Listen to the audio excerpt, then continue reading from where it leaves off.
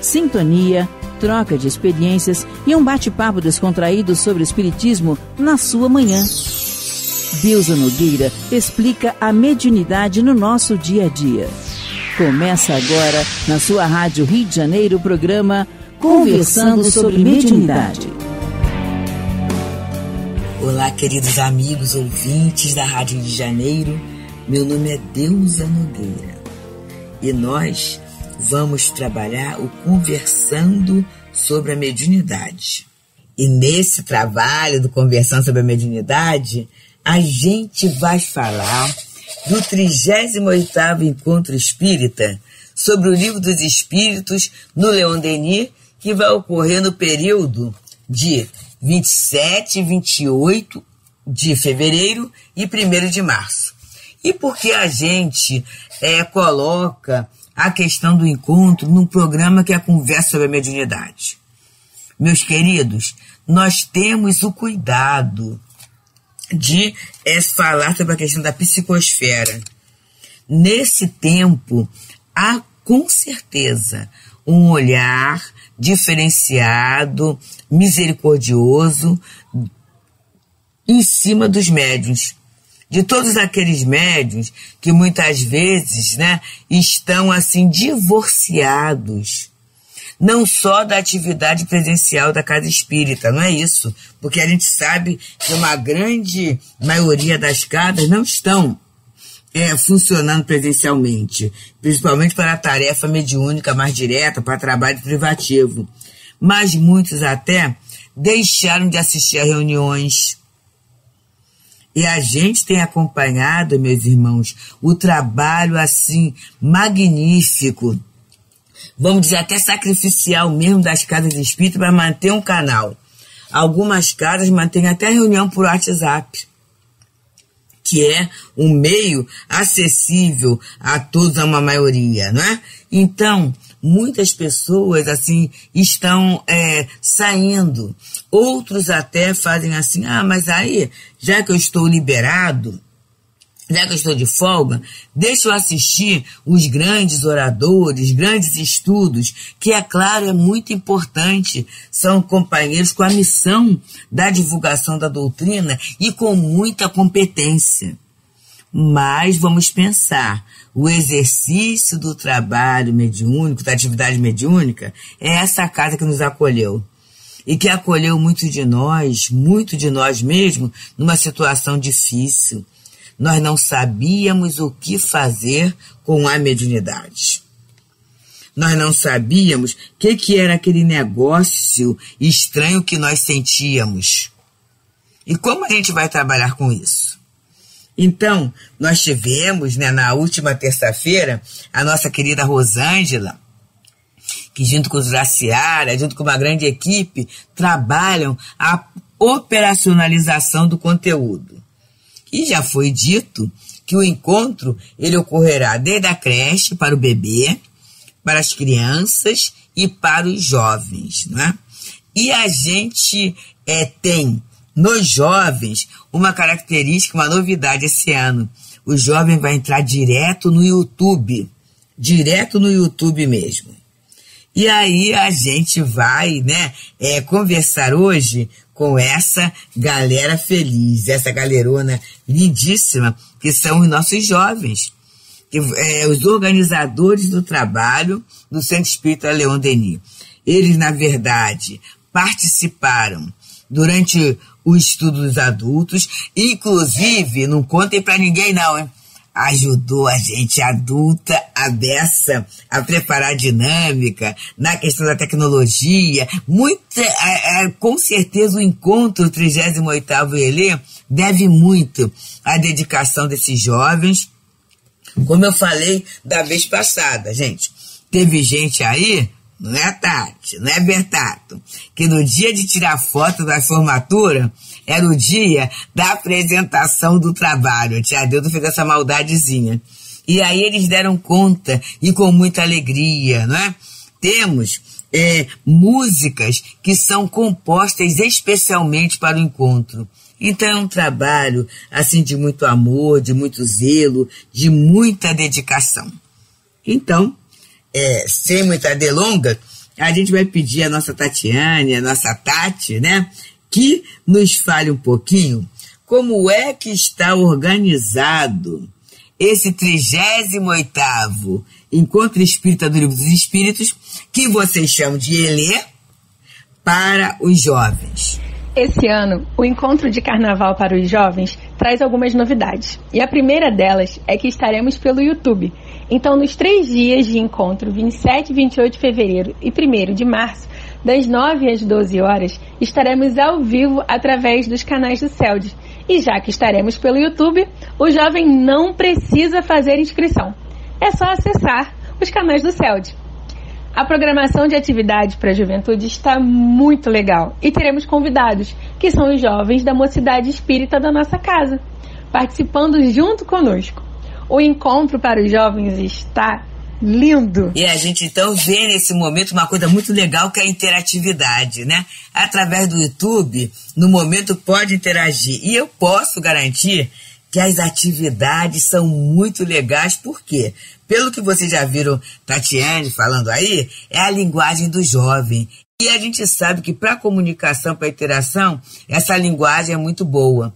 Através do YouTube, a gente tem o chat. O chat a pessoa pode poder colocar suas ideias, fazer suas perguntas, é, suas opiniões, pode discordar e tem muita atividade, tem joguinhos, tudo isso, joguinhos não, jogos, né? Que na verdade agrada, agrada muito. Então o trabalho, ele tem esse objetivo de realmente agradar ao jovem, dar a ele alguma coisa boa alguma coisa que possa ter um sentido, mas que não está fora da realidade vivenciada por eles. Isso é muito, muito bom, né? E muitas vezes a gente vai vendo as dificuldades que a gente passa, essa dificuldade do diálogo, que a gente chama do conflito de gerações, é porque a linguagem não chega é que muitas vezes é, a doutrina, os conceitos morais, eles chegam de uma forma discursiva, como se fosse sermão. E aí o jovem faz até aquele movimento que vocês sabem no ouvido, né? Em que ele abre e fecha os dedos no ouvido, que é algo que fala muito e não diz nada para o seu conflito, para as suas necessidades, para o seu para o seu desenvolvimento, não é algo que vai acrescentar. E aí, a gente vai falar agora com outra querida também, a nossa Carol Bertato. Carol Bertato, fala pra gente, quem é que pode participar desse encontro? Vamos estudar as fases da vida para que o jovem entenda que algumas questões são inerentes àquele momento, naquela encarnação. Vamos descobrir juntos que a vida é um livro de possibilidades, que temos diversas maneiras de chegar num objetivo e diversos caminhos também quando passamos pelo estudo de recalcular a rota da vida, traçando um novo caminho. Iremos perceber a importância de acolher o nosso processo como espírito imortal, rumo à perfeição. Afinal, estamos imperfeitos, porém somos perfectíveis. E, finalmente, compreender a reencarnação como ferramenta para a evolução do espírito, um remédio para a depuração da alma o reencarnou. Ah, então é isso, né? E na verdade, gente, todo mundo, né? A gente sabe, nós que estamos trabalhando no encontro na parte do adulto, a gente, no mesmo horário que os jovens, a gente vai estar envolvida nas atividades lá da fase adulta. Todos nós estaremos envolvidos. Mas a parte da tarde, a parte da noite, o amanhã do outro dia, a gente pode acessar porque é, é, é, na verdade é para o espírito, né? E alguns de nós, e aí alguns de nós, né, gente? Tinha Deus entrar nessa também. Eu gosto muito desse aspecto lúdico. E eu tenho, assim, a certeza, certeza absoluta, que a gente aprende. A gente fixa o conceito. E na hora H, em que a gente vai é, é, precisar, né? Em que a gente vai precisar mesmo é, do suporte quase sempre a hora da dor, a hora da dor, a hora da perda, a hora da despedida, seja despedida do que for, né? Os ciclos que vão fechando na nossa vida, muitas vezes, meus queridos, uma música, uma atividade, ela vai nos ajudar, ela vai nos ajudar a termos o posicionamento. E aí, eu vou querer saber agora né, Carolzinha Alves, né?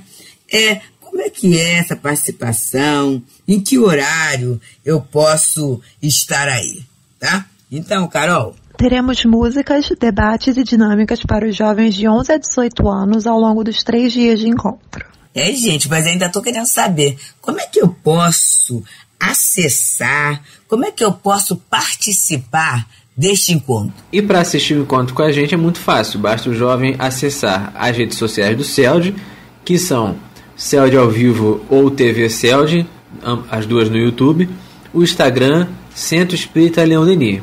A gente vai estar tá ao vivo de domingo a terça a partir das nove da manhã. Então, amigos, a gente está vendo, né?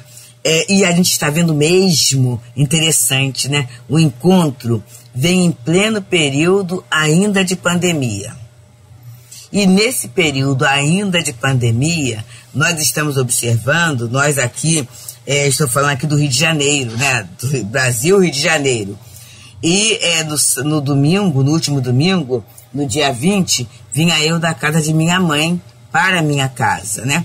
E passando por locais, gente. E vimos é, aqui, né, na Tijuca mesmo, muita aglomeração, muita gente, muita batucada, muita bebida, muita bebida.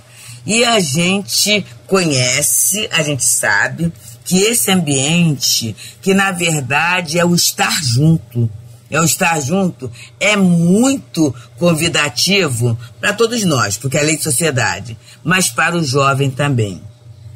E em muitas situações a gente tem contato com pais, a gente tem contato com jovens, essa questão foge de controle. Então é muito mais fácil o jovem com outro que está na faixa etária próxima.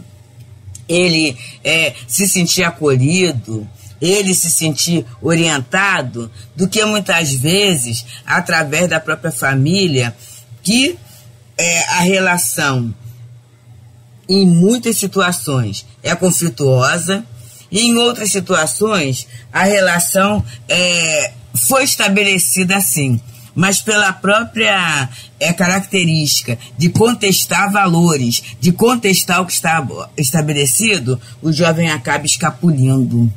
O jovem acaba escapulindo.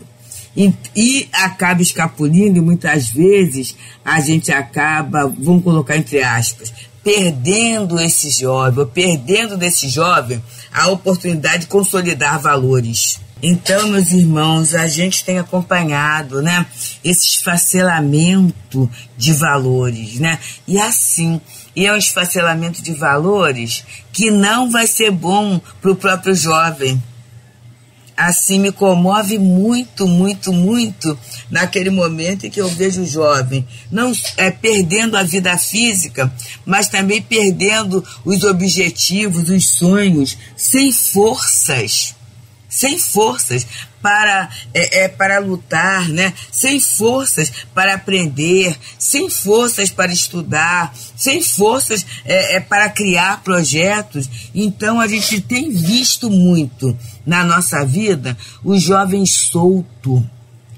O jovem sem ideal e ainda mais sério, o jovem sem lideranças nem todo influenciador digital que ele segue, né, é dar para ele um, um campo para que ele também cresça, para que ele também seja. Muitas vezes ele é mais um para naquele acesso de milhões, em que o outro vai ganhar muito dinheiro, e que o outro vai ganhar isso, aquilo, aquilo outro, fama, e ele é mais um. Mas quando ele sai daquele canal, ele está com as mãos vazias, com a cabeça vazia, com a vida vazia. E a gente sabe que Jesus, através da doutrina espírita, ele é esse campo de preenchimento. E por isso, estudar como jovem, estudar esse tema da reencarnação, ele é altamente oportuno eu começar a ver que a minha vida é importante, embora muitas vezes ele ouça Ele ouça em torno, no seu entorno, que ele não serve para nada, que ele só dá despesa, não é? Que não foi assim a minha vida. Ele entender essa importância da vida e o sentido da vida é muito bom. Ele, diante desses conflitos, estamos aí, né? Nessa questão de Rússia e o, né? é uma dificuldade muito grande, o, Ucrânia, essa dificuldade grande, a questão do, do, de Petrópolis. Como é que é a questão da justiça junto àqueles que, que desencarnaram? Como é que é essa, que, como é que é essa vida? Que, como é que é essa situação de Deus? Como é que essas coisas são divididas? Ele não sabe. Essa questão dos muitos planetas, as muitas moradas na casa de meu pai, essa do, do aquecimento global, a Terra vai acabar ou não, como é que fica? Se houver uma destruição, eu acabo também, e aí isso pode me levar a escolhas dentro do imediatismo. Como é que é isso?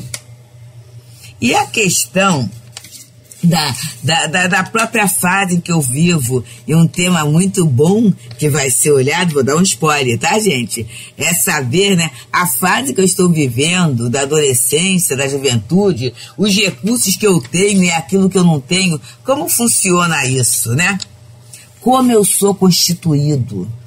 Essa ideia, meus queridos, que a doutrina traz de que somos espíritos, somos imortais. Somos imortais temos um perispírito e a partir daí a gente tem certeza que no chat, as conversas sobre uh, os fenômenos que acontecem nessa fase, do desdobramento, do sono físico, das percepções, como é que eu posso, né? É, é, é, é administrar tantas questões ao pico dos hormônios, como diz a nossa Luzia Matias, né? É, é, assumindo esse corpo novo que me foi dado, com todo esse potencial que eu trago, com todo a interface daquilo que eu recebi através da educação, quando a gente fala educação, é essa transmissão de valores, né? esses valores que eu observo na família, que nem sempre que é falado, é vivido. Como é que eu trabalho tudo isso? Né? E aí, a gente vai vendo né, essa questão da evolução como é que foi o processo evolutivo para o homem chegar até aqui?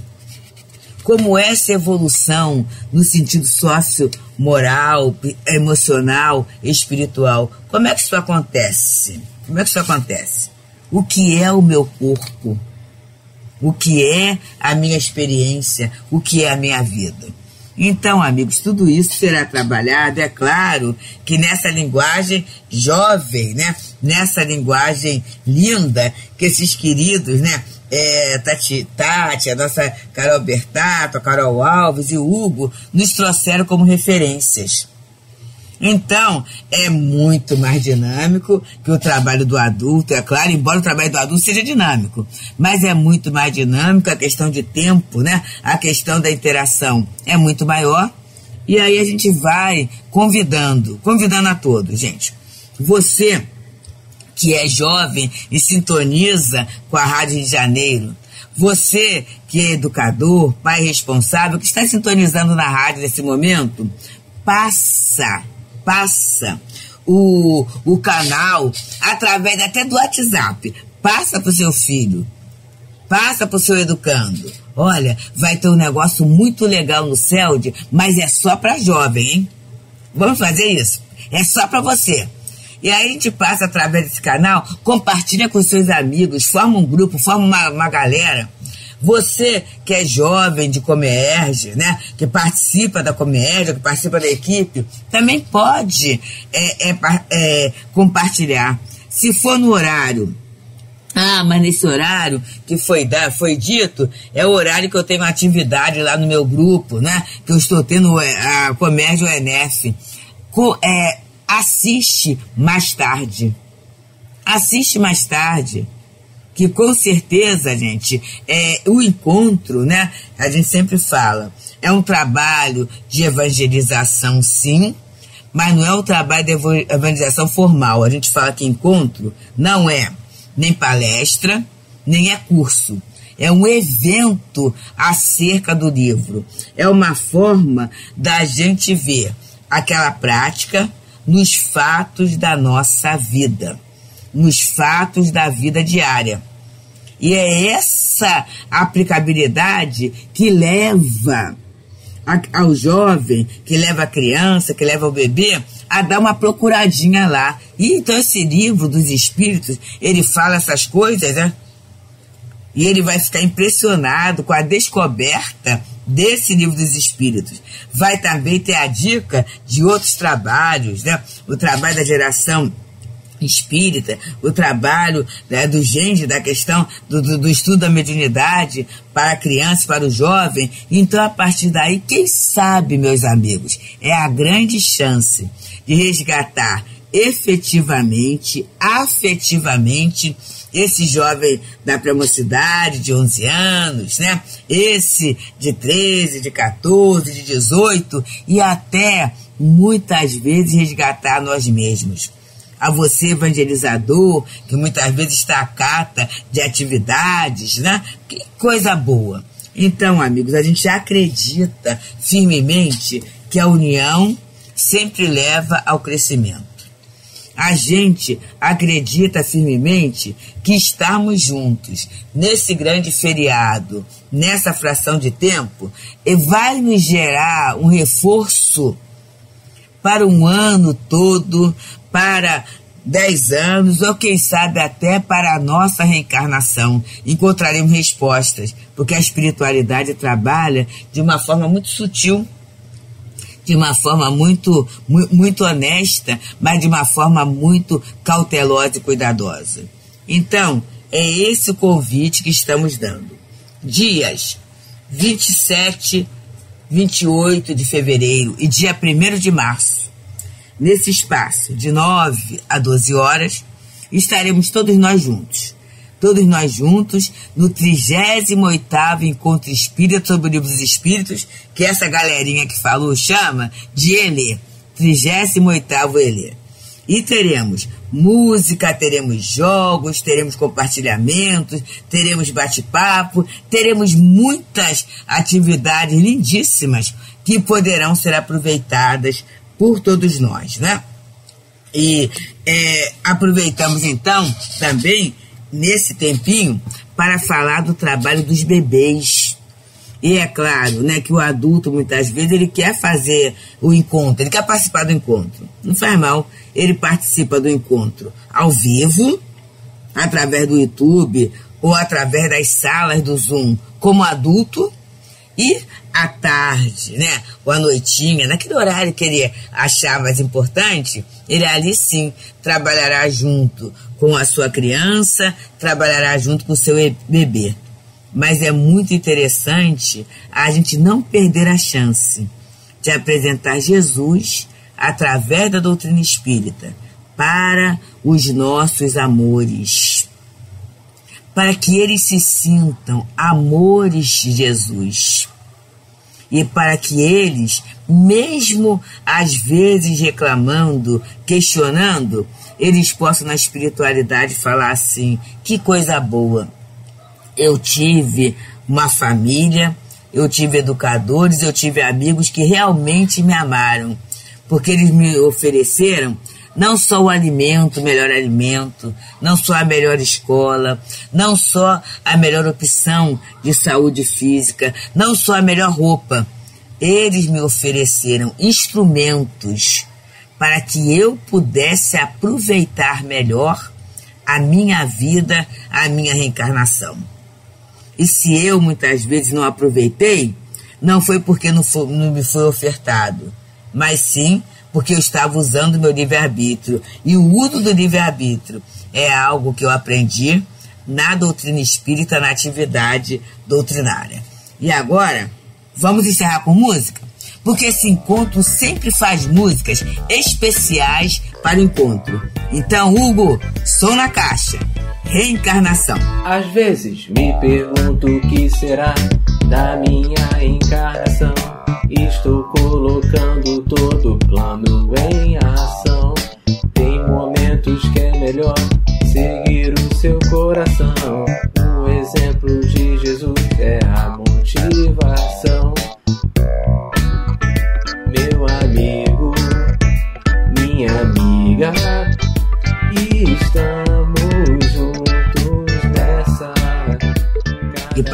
vocês, amigos ouvintes da rádio, muita paz e até o nosso encontro. 38 Ele. Muita paz. Esse é o lance da reencarnação. Deusa Nogueira explica a mediunidade no nosso dia a dia. Programa Conversando sobre Mediunidade.